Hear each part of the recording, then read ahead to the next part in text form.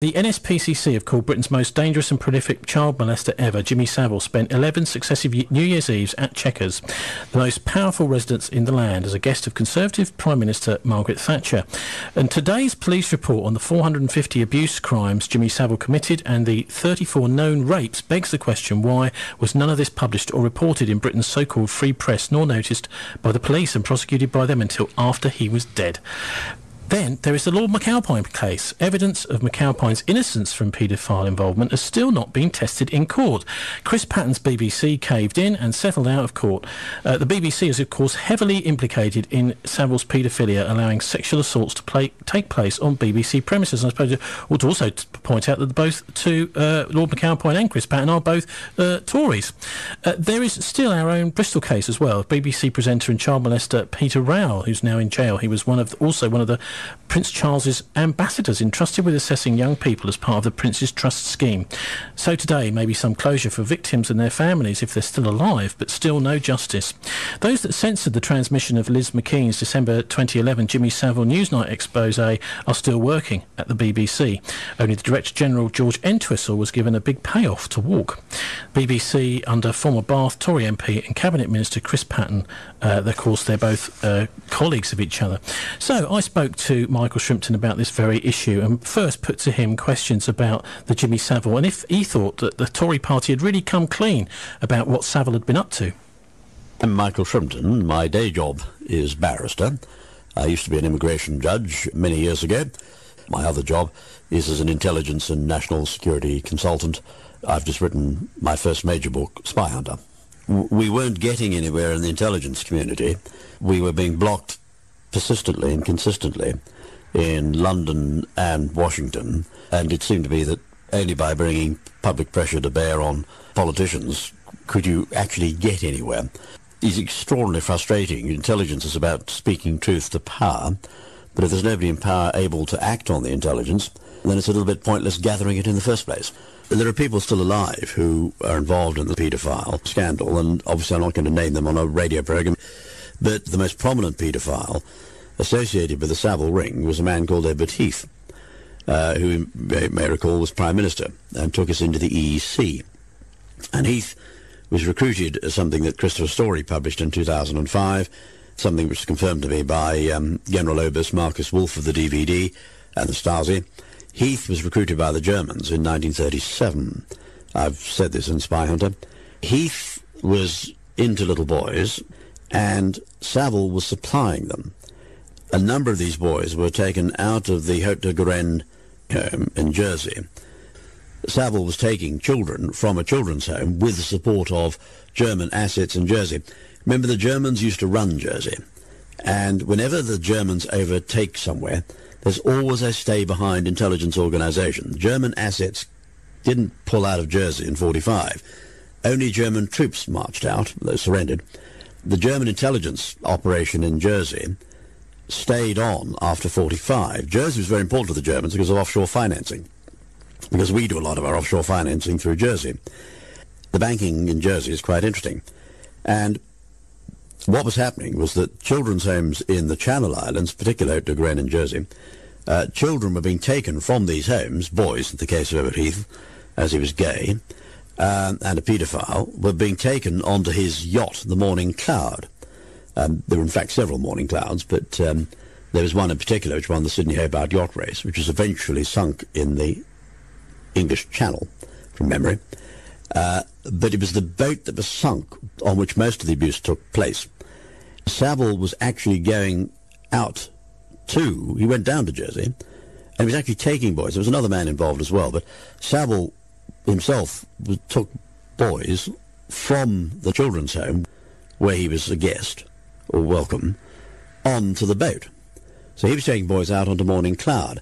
Now, since Heath was well known, and since the boys were talking young men, uh, it depends how you define child, but as a lawyer, one wouldn't define, normally we define children as under the age of 14, which is the age of criminal responsibility.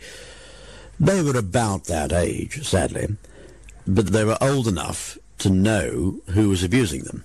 it's quite clear that in most cases they weren't willing to be abused. Uh, and even if they were, we, we, at that age, we don't regard consent as informed consent. Defined in the, Ameri- in the United States, have a phrase, statutory rape. The boys were murdered and thrown off the boat. Now, a very courageous Jersey police officer who was aware of the paedophile ring, was aware that boys were being supplied to politicians and key figures in Jersey. Knowing that children had gone missing from the nursing there's no dispute about that, uh, the police in Jersey were aware that they had missing kiddies. Their theory, which is quite perfectly reasonable theory, was that they must be buried in the grounds. And I think you, if you look at the files, you see there was a, an attempt to uh, find the, their remains by digging up the grounds. Uh, was it Lenny Harper? It's been some time since I looked at the file on this, but if you told me it was Lenny Harper, I wouldn't dispute that for a moment. What I do know is this police officer was very competent, very courageous, because he was up, up against a cabinet office-backed paedophile ring, and the investigation he was conducting was at some professional risk, and indeed, uh, I suspect his life was also at risk at one point, because he was getting close to some very uncomfortable truths for certain people in the cabinet office, GO2 in London, and certain people in Jersey in the German network, which is even today, there's still a German network in the Channel Islands. His theory that the boys had been buried in the grounds of the nursing home is a perfectly reasonable one, a good copper. Good theory, but wrong. The boys were in fact being taken to a boat. It happened to be Edward Heath's boat, or yacht, and they were murdered and thrown overboard. So there's no point, sadly, in looking for their graves. They don't have any grave except the sea. That's why the BBC and the Cabinet Office have been so keen to protect Savile. That's why the Cabinet Office in the 1980s were willing to back Savile to the point of giving him a position of authority at Broadmoor, which is an absolute... You know, you don't put a paedophile in charge of Broadmoor. It's just like putting a lunatic in charge of the asylum or a drunk in charge of a brewery or David Cameron in charge of a government. No offence intended. The Cabinet Secretary at the time, who thankfully is no longer with us, Hunt, was also a paedophile, was in on this, met Savile, uh, he was Catholic, met Savile, as did that very nice man, the late Archbishop of Westminster, Cardinal Basil Hume. Basil was not a paedophile, but knew Hunt and had a shrewd idea. He wasn't stupid. He had a shrewd idea of what had been going on, and I've no doubt was told to keep a lid on it.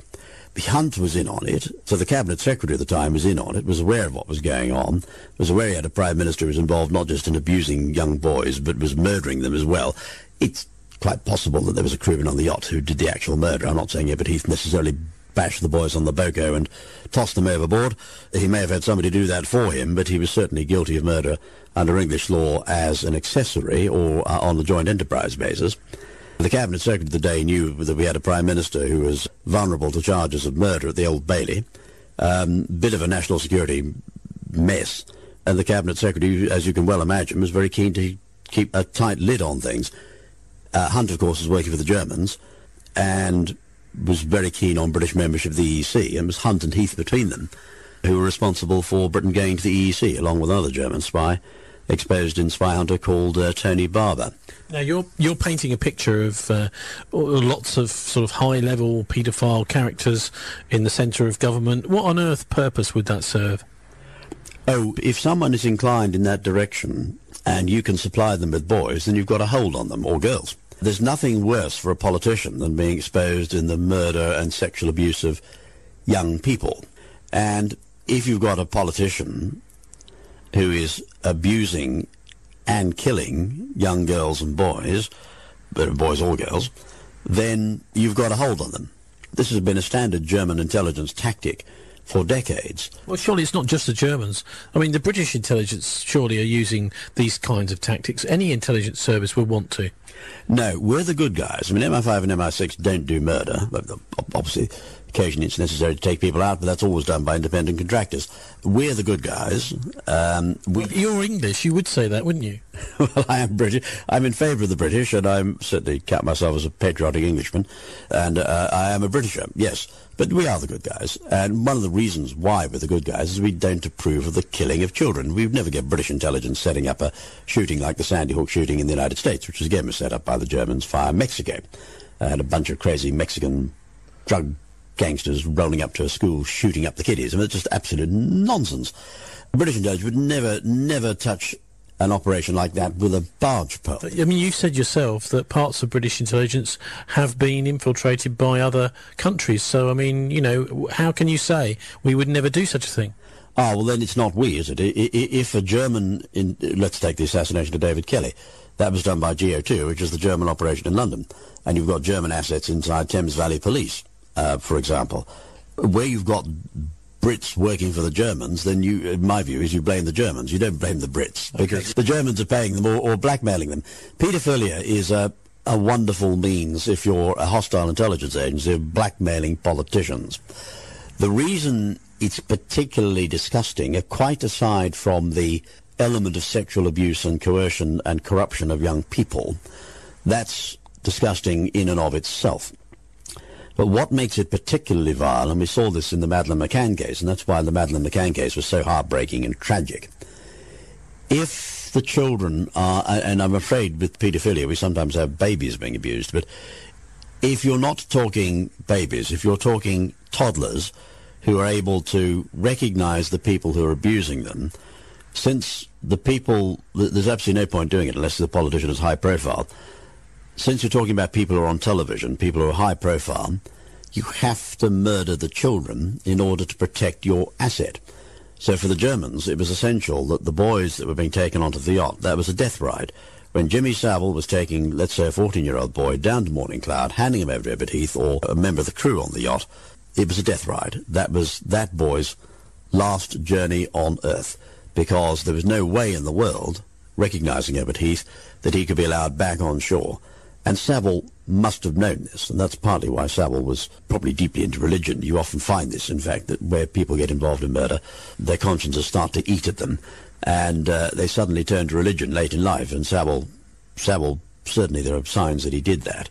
It's quite a nice thing about human beings. We, we generally find murder very difficult. It's a lot more difficult to do than uh, than you, you might think reading spy novels. He'd also, I'm sure, at Edward Heath, because you've got to murder the kiddies in order to protect your asset, supplying of children to paedophile politicians is an extremely messy, murderous, dangerous business. The case of Madeleine McCann, as I reveal in Spy Hunter, it was in my report to the Joint Intelligence Committee, which was put on the website disgracefully by the Daily Mirror a few years ago.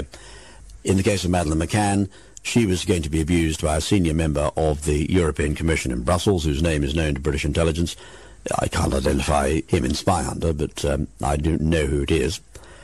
And there was no way that Madeleine could ever be returned alive to her family because the danger would be that even at her tender age of four, she would recognize him and know who was abusing her. So the Germans had to murder her, and indeed they eventually did, sadly, in December 2008. Uh, yes, you paint again this picture of a, a rather horrific situation where our leaders are uh, all compromised by these kinds of criminal acts. I mean, what hope is there for humanity and what hope is there for Britain? Well, the answer is to get politicians in who are not compromised. Now, I don't wish to say anything about David Cameron. I'm certainly not suggesting he's a paedophile. He isn't. Uh, I mean, our political parties, Michael, seem to be getting worse at the top. The leadership quality. I mean, for example, somebody for the Labour Party leadership who would have been a quite a positive leader for the country, Robin Cook. It looks like he may have been murdered. So where we've got good politicians coming up, they seem to sort of disappear one reason or another, or get discredited. And the only ones that seem to survive to lead the parties, all the three main parties, appear to be people who have one way or another have sold their souls. well, I, again, I think listeners will understand why I have to give a cautious answer to this question. Your basic premise is right, that politicians can be compromised, that where they're compromised, then it's deeply contrary to the national interest. And the answer is to replace politicians with leaders who are not compromised. You're absolutely right about Robin. Uh, Robin and I got on quite well. I, I, certainly when I first got to know Robin Cook, there wasn't a lot of distance between us. He became more pro-European. I became increasingly Eurosceptic, although I was very Eurosceptic to begin with. So Robin and I politically grew some distance apart. But he was very pleasant, and uh, you know, I was a Labour candidate at the same election. He was a Labour candidate, obviously for a safe seat, and I was for a, a very safe Tory seat. But the last time I met Robin was in Whitehall, a few weeks before he was murdered. And I can assure you he didn't look as though he was a man who was about to snuff it. You didn't think, oh, God, am I ever going to see Robin again? The poor chap looks a bit ill. Uh, he was hale and hearty when I last saw him. There's no question he was murdered. He was uh, thrown down the mountain. He didn't fall down it. He was murdered because somebody was concerned that he was going to go public with some very damaging intelligence he had, which might have catapulted Britain out of the European Union. Uh, the motives for his murder, I think, are very clear.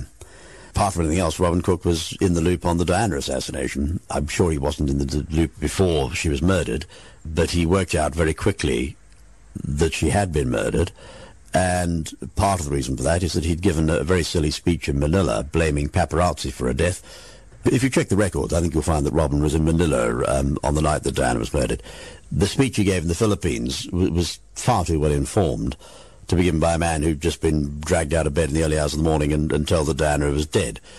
Robin's speech was based on a briefing from MI6, but Robin, I think, very quickly worked out that somebody in Six was in the loop. He was right about that. A very senior MI6 officer was in Paris on the night that Diana was murdered. What he didn't know was that these officers were working for the Germans. But the Germans had assets in Six, um, and they were... You're, you're talking about Sherard Cowper-Coles there. I'm certainly not saying Sherard Cowper-Coles is a German asset. So I'm not a big fan of Sherard Cowper-Coles, but I wouldn't suggest that um, he was involved in the murder of Diana uh, for one moment. And if I did, your lawyers wouldn't let you broadcast the interview. But um, there were German assets GO2 assets inside MI6. Not all of them would have known they were working for the Germans. Um, some of the GO2 boys thought the GO2 was a British operation. Some of the GO2 boys and I sat down, had a drink, and I explained, look, boys, you're working for the Jerrys. Uh, they were pretty appalled. They went away, checked it out, realised I was right. And ever since, we've had a good stream of intelligence out of GO2. It's one of the reasons I know that Thames Valley Police are penetrated by GO2. And Robin was pretty shrewd chap. He, he had a brain, Robin. He was not like Tony Blair. He had a first-class mind. And Robin worked out that Diana had been murdered. And I suspect it was the Diana murder which was the motive for bumping Robin off. There's no doubt Robin was murdered. I mean, a political opponent, very good on his feet, a quick thinker, had a fine mind, first-class mind, very intelligent, and I liked him. I absolutely deplore his murder. It was absolutely outrageous. You cannot go around murdering former foreign secretaries. I simply don't approve of it. My view is that he was assassinated in order to stop him talking about Diana. The Diana inquest was coming up. There was a real fear that the truth might come out. In the, in the end, the inquest was a farce. No offence intended to Mr. Justice Scott Baker, but there was always a concern that there might be a proper coroner. By that I mean a medically trained coroner, not a judge. Judges don't have medical training and they don't make very good coroners. It's absolutely clear he was assassinated. Absolutely clear that that was to silence him. Uh, and I think tolerably clear that he by then had come to the conclusion that Anna had been murdered and some people in London were in the loop. That was probably the uh, the motive for the decision to um, sanction him. Well, quite a lot in there. That was Michael Shrimpton, who's a columnist on the website Veterans Today, as well as a barrister, not a QC, as I mistakenly said uh, last week. Um, we, You're English, you would say that, wouldn't you? well, I am British. I'm in favour of the British, and I'm certainly count myself as a patriotic Englishman, and uh, I am a Britisher, yes. But we are the good guys, and one of the reasons why we're the good guys is we don't approve of the killing of children. We'd never get British intelligence setting up a shooting like the Sandy Hook shooting in the United States, which was again set up by the Germans via Mexico. And a bunch of crazy Mexican drug gangsters rolling up to a school shooting up the kiddies. I mean, it's just absolute nonsense. British intelligence would never, never touch an operation like that with a barge pole. I mean, you said yourself that parts of British intelligence have been infiltrated by other countries. So, I mean, you know, how can you say we would never do such a thing?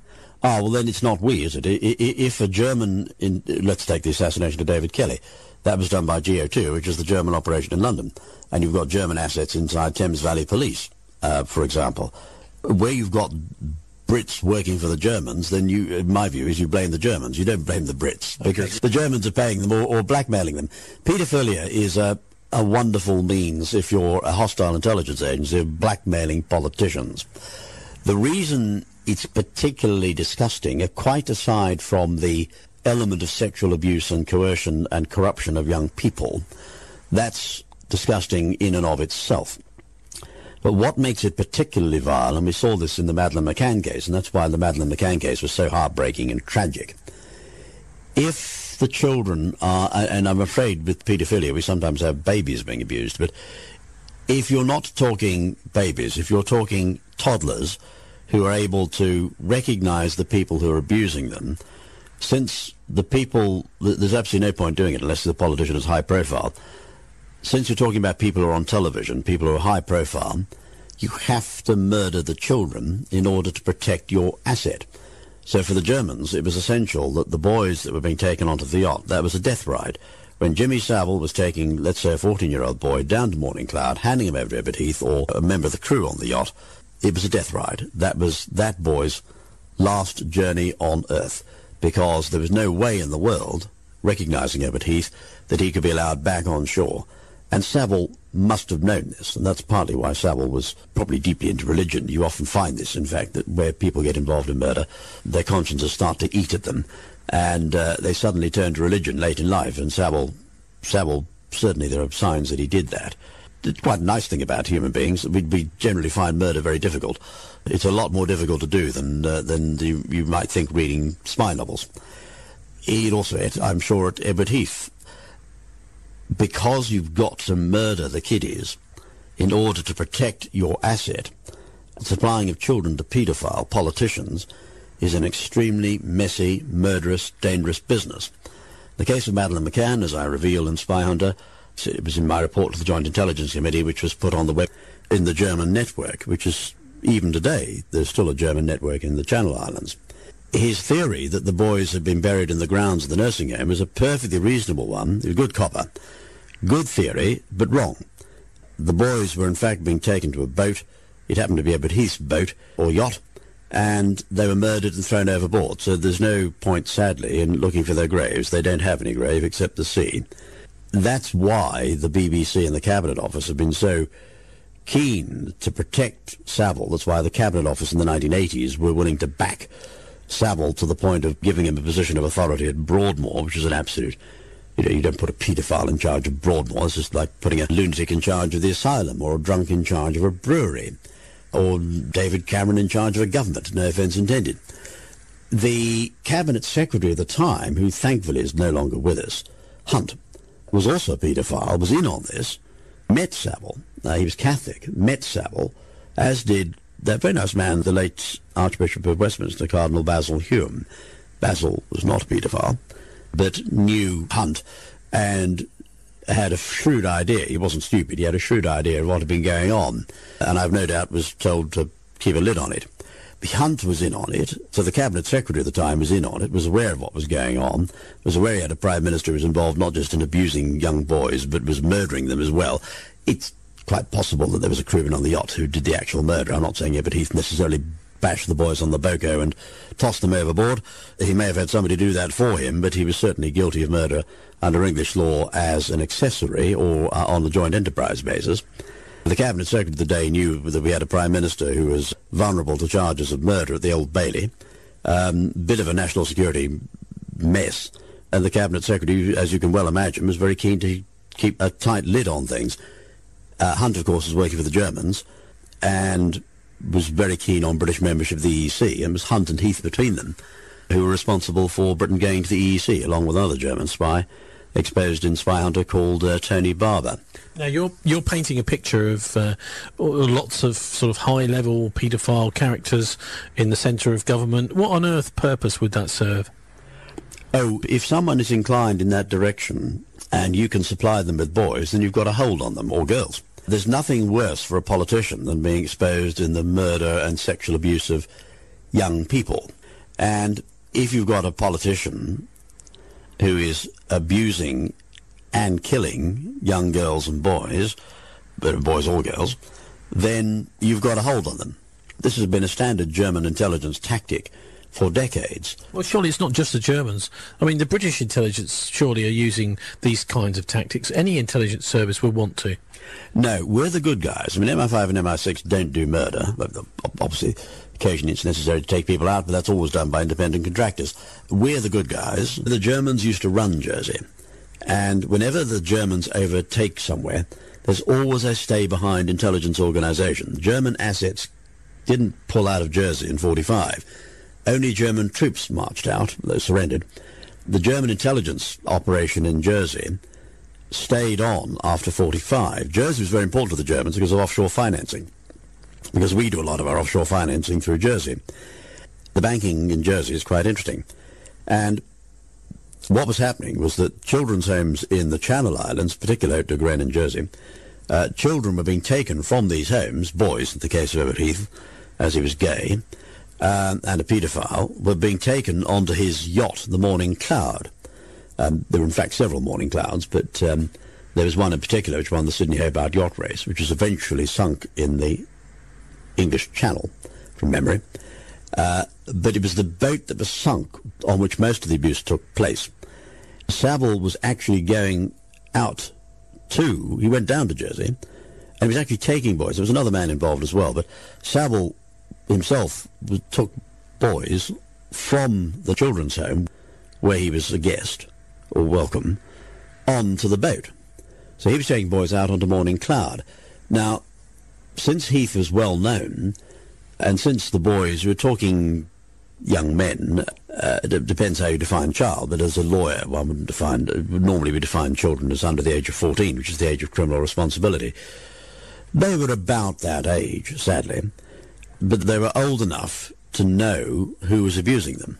It's quite clear that in most cases they weren't willing to be abused, uh, and even if they were, we, we, at that age, we don't regard consent as informed consent defined in the, Ameri- in the United States have a phrase statutory rape. The boys were murdered and thrown off the boat.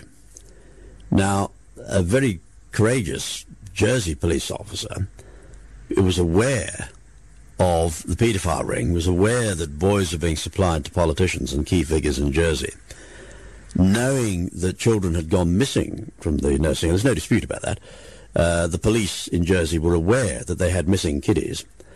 Their theory, which is quite perfectly reasonable theory, was that they must be buried in the grounds. And I think you, if you look at the files, you'll see there was a, an attempt to uh, find the, their remains by digging up the grounds. Uh, was it Lenny Harper? It's been some time since I looked at the file on this, but if you told me it was Lenny Harper, I wouldn't dispute that for a moment.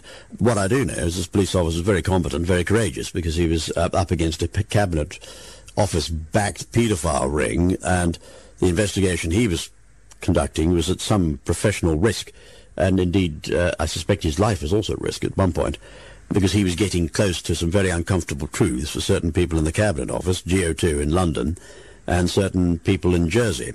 The man the NSPCC have called Britain's most dangerous and prolific child molester ever, Jimmy Savile, spent 11 successive New Year's Eves at Chequers, the most powerful residence in the land, as a guest of Conservative Prime Minister Margaret Thatcher. And today's police report on the 450 abuse crimes Jimmy Savile committed and the 34 known rapes begs the question why was none of this published or reported in Britain's so-called free press nor noticed by the police and prosecuted by them until after he was dead. Then there is the Lord McAlpine case. Evidence of McAlpine's innocence from paedophile involvement has still not been tested in court. Chris Patten's BBC caved in and settled out of court. Uh, the BBC is, of course, heavily implicated in Savile's paedophilia, allowing sexual assaults to play, take place on BBC premises. And I suppose I ought to also point out that both two, uh, Lord McAlpine and Chris Patten, are both uh, Tories. Uh, there is still our own Bristol case as well. BBC presenter and child molester Peter Rowell, who's now in jail. He was one of also one of the Prince Charles's ambassadors entrusted with assessing young people as part of the Prince's Trust scheme. So today, may be some closure for victims and their families if they're still alive, but still no justice. Those that censored the transmission of Liz MacKean's December 2011 Jimmy Savile Newsnight expose are still working at the BBC. Only the Director General George Entwistle was given a big payoff to walk. BBC under former Bath Tory MP and Cabinet Minister Chris Patten, uh, of course, they're both uh, colleagues of each other. So I spoke to Michael Shrimpton about this very issue and first put to him questions about the Jimmy Savile and if he thought that the Tory party had really come clean about what Savile had been up to. I'm Michael Shrimpton. My day job is barrister. I used to be an immigration judge many years ago. My other job is as an intelligence and national security consultant. I've just written my first major book, Spy Hunter. We weren't getting anywhere in the intelligence community.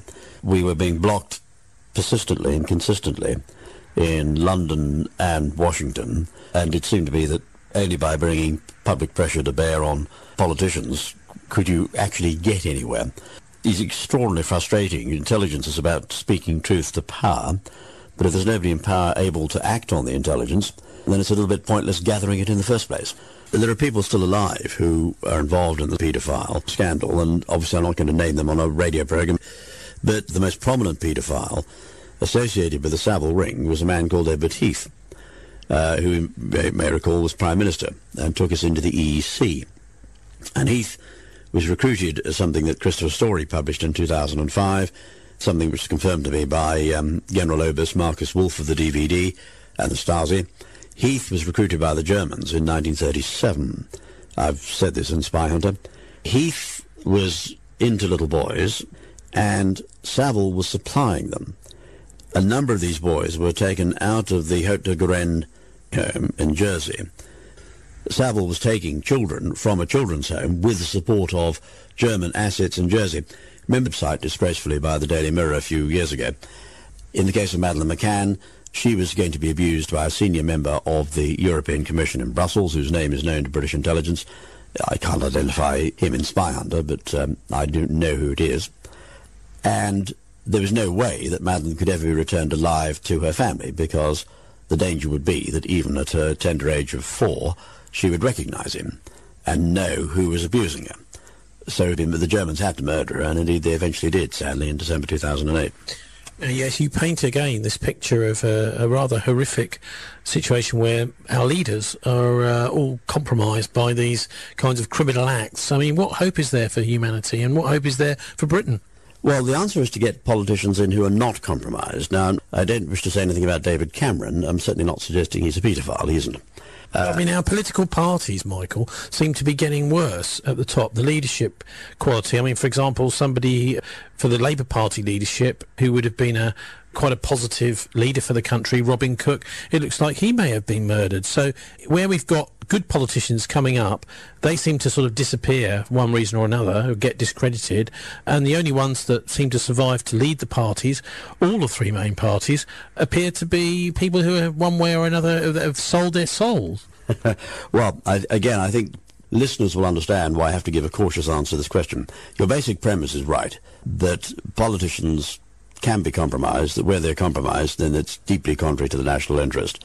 And the answer is to replace politicians with leaders who are not compromised. You're absolutely right about Robin. Uh, Robin and I got on quite well. I, I, certainly when I first got to know Robin Cook, there wasn't a lot of distance between us.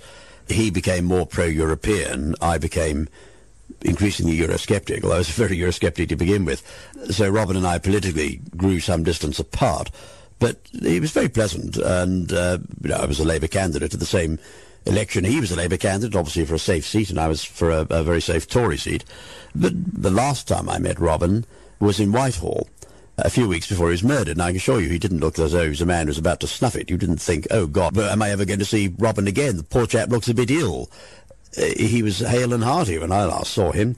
There's no question he was murdered. He was uh, thrown down the mountain. He didn't fall down it he was murdered because somebody was concerned that he was going to go public with some very damaging intelligence he had, which might have catapulted Britain out of the European Union. Uh, the, the motives for his murder, I think, are very clear. Apart from anything else, Robin Cook was in the loop on the Diana assassination. I'm sure he wasn't in the loop before she was murdered, but he worked out very quickly that she had been murdered. And part of the reason for that is that he'd given a very silly speech in Manila blaming paparazzi for her death if you check the records, I think you'll find that Robin was in Manila um, on the night that Diana was murdered. The speech he gave in the Philippines was far too well informed to be given by people get involved in murder. Their consciences start to eat at them, and uh, they suddenly turn to religion late in life. And Savile, Savile, certainly there are signs that he did that. It's quite a nice thing about human beings. We, we generally find murder very difficult. It's a lot more difficult to do than uh, than you, you might think reading spy novels he'd also hit, I'm sure, at Edward Heath. Because you've got to murder the kiddies in order to protect your asset, supplying of children to paedophile politicians is an extremely messy, murderous, dangerous business. The case of Madeleine McCann, as I reveal in Spy Hunter, It was in my report to the Joint Intelligence Committee, which was put on the website disgracefully by the Daily Mirror a few years ago. In the case of Madeleine McCann, she was going to be abused by a senior member of the European Commission in Brussels, whose name is known to British intelligence. I can't identify him in Spy Hunter, but um, I do know who it is. And there was no way that Madeleine could ever be returned alive to her family because the danger would be that even at her tender age of four, she would recognize him and know who was abusing her. So the Germans had to murder her, and indeed they eventually did, sadly, in December 2008. Yes, you paint again this picture of a, a rather horrific situation where our leaders are uh, all compromised by these kinds of criminal acts. I mean, what hope is there for humanity and what hope is there for Britain? Well, the answer is to get politicians in who are not compromised. Now, I don't wish to say anything about David Cameron. I'm certainly not suggesting he's a paedophile. He isn't. Uh, I mean, our political parties, Michael, seem to be getting worse at the top. The leadership quality. I mean, for example, somebody for the Labour Party leadership who would have been a quite a positive leader for the country, Robin Cook, it looks like he may have been murdered. So where we've got good politicians coming up, they seem to sort of disappear one reason or another, or get discredited. And the only ones that seem to survive to lead the parties, all the three main parties, appear to be people who, have, one way or another, have sold their souls. well, I, again, I think listeners will understand why I have to give a cautious answer to this question. Your basic premise is right, that politicians can be compromised, that where they're compromised, then it's deeply contrary to the national interest. And the answer is to replace politicians with leaders who are not compromised. You're absolutely right about Robin. Uh, Robin and I got on quite well. I, I, certainly when I first got to know Robin Cook, there wasn't a lot of distance between us. He became more pro-European. I became increasingly Eurosceptic, although I was very Eurosceptic to begin with. So Robin and I politically grew some distance apart. But he was very pleasant, and uh, you know, I was a Labour candidate at the same election. He was a Labour candidate, obviously for a safe seat, and I was for a, a very safe Tory seat. But the last time I met Robin was in Whitehall a few weeks before he was murdered. And I can assure you, he didn't look as though he was a man who was about to snuff it. You didn't think, oh, God, am I ever going to see Robin Network, which is, even today, there's still a German network in the Channel Islands. His theory that the boys had been buried in the grounds of the nursing home was a perfectly reasonable one. A good copper. Good theory, but wrong. The boys were in fact being taken to a boat. It happened to be Heath's boat or yacht, and they were murdered and thrown overboard. So there's no point, sadly, in looking for their graves. They don't have any grave except the sea. That's why the BBC and the Cabinet Office have been so keen to protect Savile. That's why the Cabinet Office in the 1980s were willing to back Savile to the point of giving him a position of authority at Broadmoor, which is an absolute you know, you don't put a paedophile in charge of Broadmoor. It's just like putting a lunatic in charge of the asylum or a drunk in charge of a brewery or David Cameron in charge of a government. No offence intended. The cabinet secretary at the time, who thankfully is no longer with us, Hunt, was also a paedophile, was in on this, met Savile. Uh, he was Catholic, met Savile, as did that very nice man, the late Archbishop of Westminster, Cardinal Basil Hume. Basil was not a paedophile but knew Hunt and had a shrewd idea. He wasn't stupid. He had a shrewd idea of what had been going on, and I've no doubt was told to keep a lid on it. The Hunt was in on it, so the cabinet secretary at the time was in on it, was aware of what was going on, was aware he had a prime minister who was involved not just in abusing young boys, but was murdering them as well. It's quite possible that there was a crewman on the yacht who did the actual murder. I'm not saying Edward Heath necessarily bashed the boys on the boko and tossed them overboard. He may have had somebody do that for him, but he was certainly guilty of murder under English law as an accessory or uh, on the joint enterprise basis. The Cabinet Secretary of the day knew that we had a Prime Minister who was vulnerable to charges of murder at the Old Bailey. Um, bit of a national security mess. And the Cabinet Secretary, as you can well imagine, was very keen to keep a tight lid on things. Uh, Hunt, of course, was working for the Germans, and was very keen on British membership of the EEC, and was Hunt and Heath between them, who were responsible for Britain going to the EEC, along with another German spy exposed in Spy Hunter called uh, Tony Barber. Now you're you're painting a picture of uh, lots of sort of high-level paedophile characters in the centre of government. What on earth purpose would that serve? Oh, if someone is inclined in that direction and you can supply them with boys, then you've got a hold on them, or girls. There's nothing worse for a politician than being exposed in the murder and sexual abuse of young people. And if you've got a politician who is abusing and killing young girls and boys, but boys or girls, then you've got a hold on them. This has been a standard German intelligence tactic for decades. Well, surely it's not just the Germans. I mean, the British intelligence surely are using these kinds of tactics. Any intelligence service would want to. No, we're the good guys. I mean, MI5 and MI6. So for the Germans, it was essential that the boys that were being taken onto the yacht, that was a death ride. When Jimmy Savile was taking, let's say, a 14-year-old boy down to Morning Cloud, handing him over to Edward Heath or a member of the crew on the yacht, it was a death ride. That was that boy's last journey on Earth because there was no way in the world, recognizing Edward Heath, that he could be allowed back on shore. And Savile must have known this, and that's partly why Savile was probably deeply into religion. You often find this, in fact, that where people get involved in murder, their consciences start to eat at them, and uh, they suddenly turn to religion late in life. And Savile, Savile, certainly there are signs that he did that. It's quite a nice thing about human beings. We, we generally find murder very difficult. It's a lot more difficult to do than uh, than you might think reading spy novels.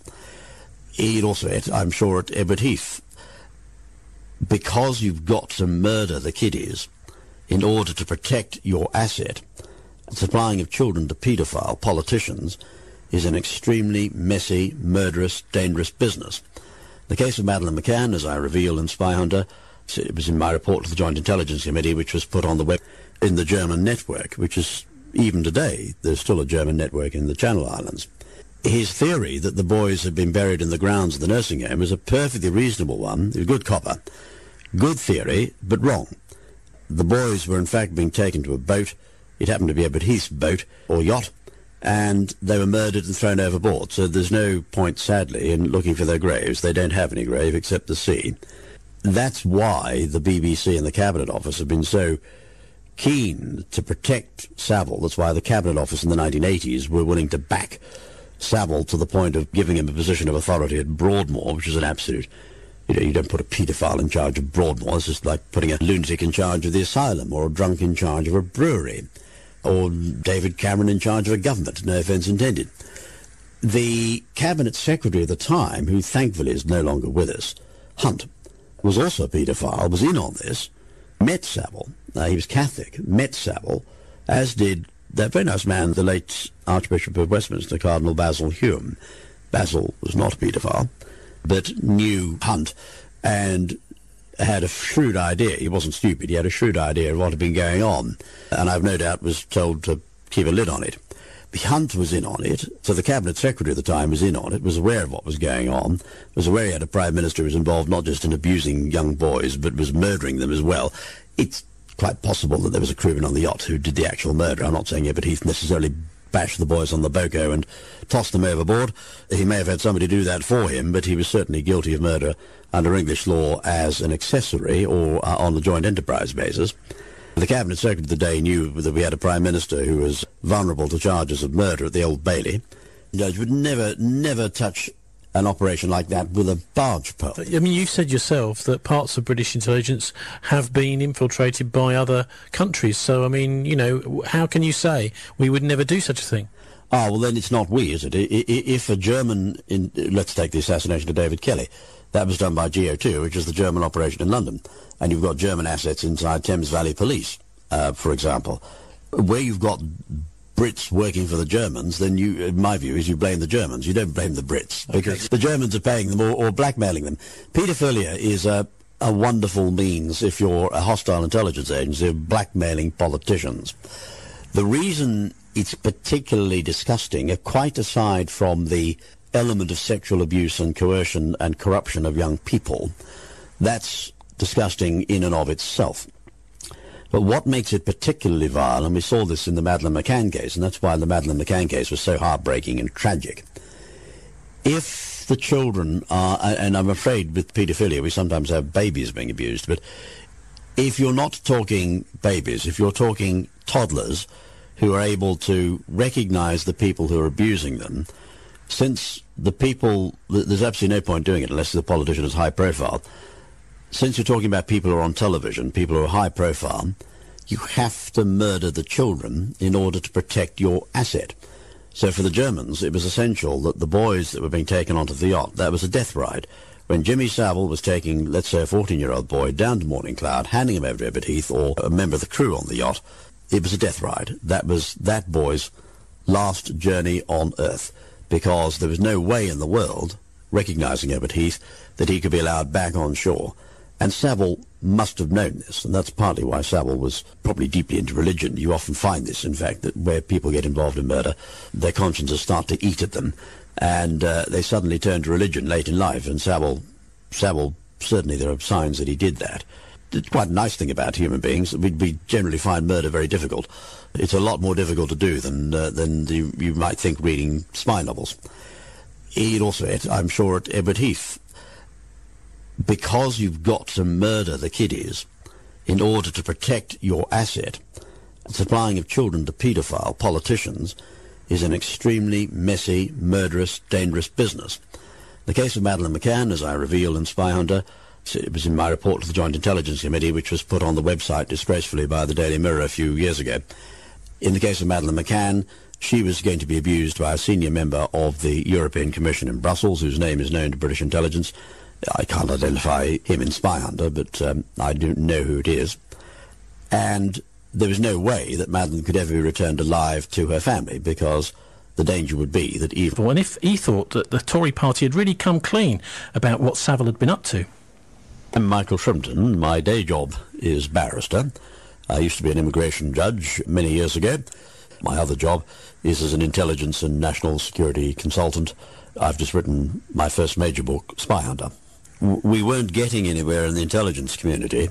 We were being blocked persistently and consistently in London and Washington, and it seemed to be that only by bringing public pressure to bear on politicians could you actually get anywhere. It's extraordinarily frustrating. Intelligence is about speaking truth to power, but if there's nobody in power able to act on the intelligence, then it's a little bit pointless gathering it in the first place. There are people still alive who are involved in the paedophile scandal, and obviously I'm not going to name them on a radio program, but the most prominent paedophile associated with the Savile ring was a man called Edward Heath, uh, who you may, recall was Prime Minister and took us into the EEC. And Heath was recruited as something that Christopher Story published in 2005, something which was confirmed to me by um, Generaloberst Markus Wolf of the DVD and the Stasi. Heath was recruited by the Germans in 1937. I've said this in Spy Hunter. Heath was into little boys, and Savile was supplying them. A number of these boys were taken out of the Haut de Garenne home um, in Jersey. Savile was taking children from a children's home with the support of German assets in Jersey. Remembered site disgracefully by the Daily Mirror a few years ago. In the case of Madeleine McCann, she was going to be abused by a senior member of the European Commission in Brussels, whose name is known to British intelligence. I can't identify him in Spy Hunter, but um, I do know who it is. And there was no way that Madeleine could ever be returned alive to her family because the danger would be that even at her tender age of four, she would recognize him and know who was abusing her. So the Germans had to murder her, and indeed they eventually did, sadly, in December 2008. Uh, yes, you paint again this picture of a, a rather horrific situation where our leaders are uh, all compromised by these kinds of criminal acts. I mean, what hope is there for humanity, and what hope is there for Britain? Well, the answer is to get politicians in who are not compromised. Now, I don't wish to say anything about David Cameron. I'm certainly not suggesting he's a paedophile. He isn't. Uh, I mean, our political parties, Michael, seem to be getting worse at the top. The leadership quality. I mean, for example, somebody for the Labour Party leadership who would have been a quite a positive leader for the country, Robin Cook. It looks like he may have been murdered. So where we've got good politicians coming up, they seem to sort of disappear for one reason or another, or get discredited. And the only ones that seem to survive to lead the parties, all the three main parties, appear to be people who have one way or another have sold their souls. well, I, now, a very courageous Jersey police officer who was aware of the paedophile ring was aware that boys were being supplied to politicians and key figures in Jersey. Knowing that children had gone missing from the nursing home, there's no dispute about that, uh, the police in Jersey were aware that they had missing kiddies. Their theory, which is quite a perfectly reasonable theory, was that they must be buried in the grounds. And I think you, if you look at the files, you see there was a, an attempt to uh, find the, their remains by digging up the grounds. Uh, was it Lenny Harper? It's been some time since I looked at the file on this, but if you tell me it was Lenny Harper, I wouldn't dispute that for a moment. What I do know is this police officer was very competent, very courageous, because he was up, up against a cabinet office-backed paedophile ring, and the investigation he was conducting was at some professional risk, and indeed, uh, I suspect his life was also at risk at one point, because he was getting close to some very uncomfortable truths for certain people in the cabinet office, GO2 in London, and certain people in Jersey in the German network, which is even today, there's still a German network in the Channel Islands. His theory that the boys had been buried in the grounds of the nursing home is a perfectly reasonable one, a good copper. Good theory, but wrong. The boys were in fact being taken to a boat. It happened to be Edward Heath's boat, or yacht, and they were murdered and thrown overboard. So there's no point, sadly, in looking for their graves. They don't have any grave except the sea. That's why the BBC and the Cabinet Office have been so keen to protect Savile. That's why the Cabinet Office in the 1980s were willing to back Savile to the point of giving him a position of authority at Broadmoor, which is an absolute... You know, you don't put a paedophile in charge of Broadmoor. It's just like putting a lunatic in charge of the asylum or a drunk in charge of a brewery or David Cameron in charge of a government, no offence intended. The cabinet secretary at the time, who thankfully is no longer with us, Hunt, was also a paedophile, was in on this, met Savile, uh, he was Catholic, met Savile, as did that very nice man, the late Archbishop of Westminster, Cardinal Basil Hume. Basil was not a paedophile, but knew Hunt and had a shrewd idea. He wasn't stupid. He had a shrewd idea of what had been going on, and I've no doubt was told to keep a lid on it. Hunt was in on it, so the cabinet secretary at the time was in on it, was aware of what was going on, was aware he had a prime minister who was involved not just in abusing young boys, but was murdering them as well. It's quite possible that there was a crewman on the yacht who did the actual murder. I'm not saying Edward Heath necessarily bashed the boys on the boko and tossed them overboard. He may have had somebody do that for him, but he was certainly guilty of murder under English law as an accessory or uh, on a joint enterprise basis. The Cabinet Secretary of the day knew that we had a Prime Minister who was vulnerable to charges of murder at the Old Bailey. Um, bit of a national security mess.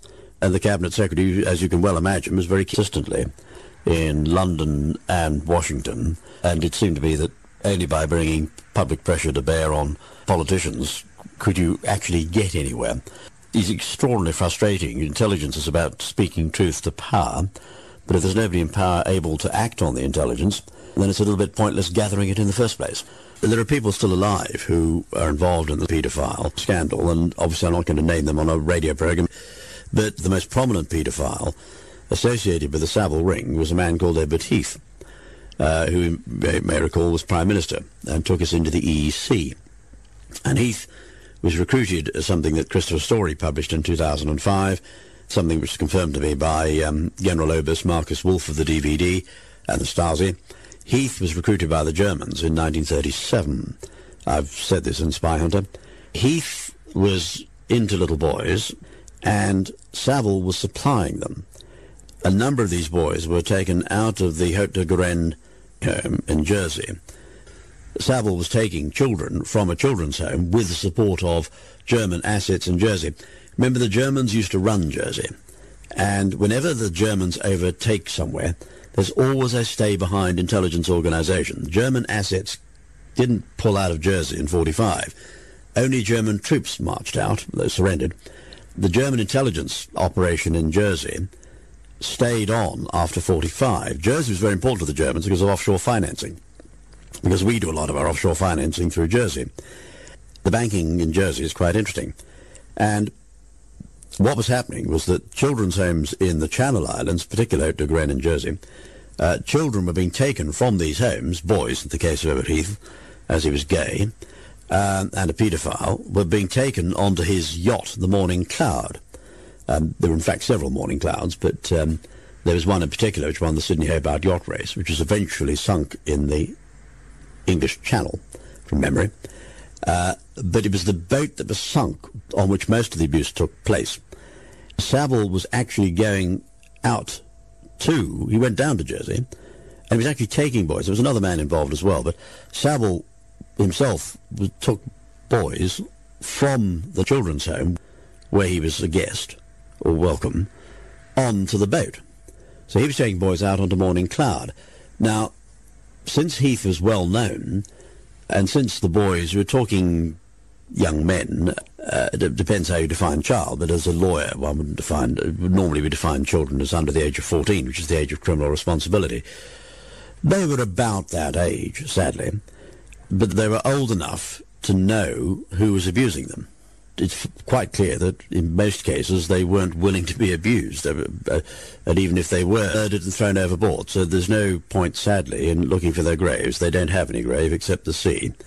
That's why the BBC and the Cabinet Office have been so keen to protect Savile. That's why the Cabinet Office in the 1980s were willing to back Savile to the point of giving him a position of authority at Broadmoor, which is an absolute you know, you don't put a paedophile in charge of Broadmoor. It's just like putting a lunatic in charge of the asylum or a drunk in charge of a brewery or David Cameron in charge of a government. No offence intended. The cabinet secretary at the time, who thankfully is no longer with us, Hunt, was also a paedophile, was in on this, met Savile. Uh, he was Catholic, met Savile, as did that very nice man, the late Archbishop of Westminster, Cardinal Basil Hume.